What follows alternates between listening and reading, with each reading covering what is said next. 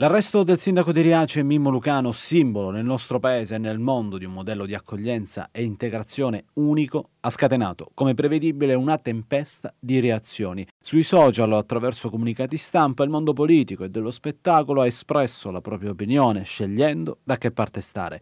Primo fra tutti Beppe Fiorello, l'attore che ha interpretato il primo cittadino del modello Riaci in una fiction girata nei mesi scorsi e mai andata in onda, si è speso molto nei mesi scorsi per sostenere il modello di accoglienza del piccolo centro calabrese. Qualcuno si porterà sulla coscienza la vita di un uomo straordinario, scrive sui social.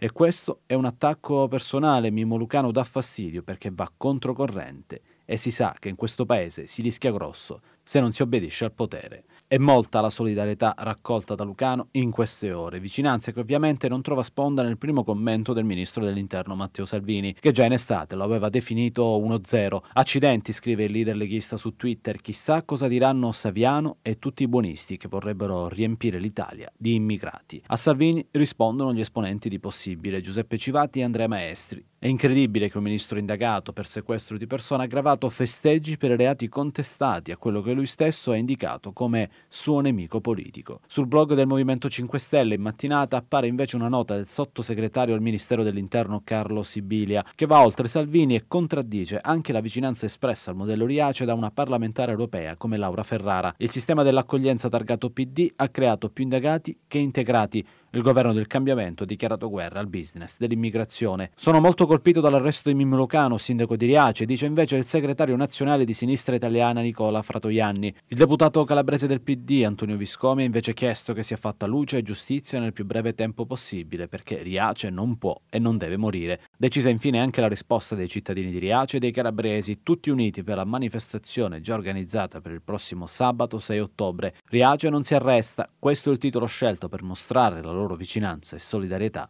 al sindaco Mimmo Lucano.